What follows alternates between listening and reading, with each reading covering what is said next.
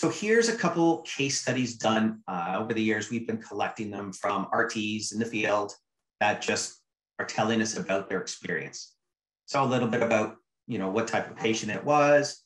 Uh, these happen to be about patient transport because it is the path of least resistance for flu. So it's where it just makes 110% sense um, because that's where you have all your problems, right? Nothing ever happens when you're sitting in the ICU and there's 20 people around. It always happens when you're off on transport and you're by yourself or in an elevator.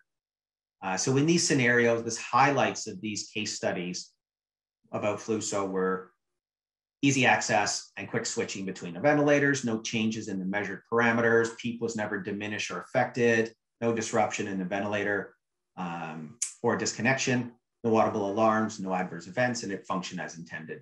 So highly, highly boring stuff because safety should be boring. This should be uneventful. It's actually exciting for us to hear that nothing changed. PEEP didn't go sky high or drop to the nothing and pressure's going all over.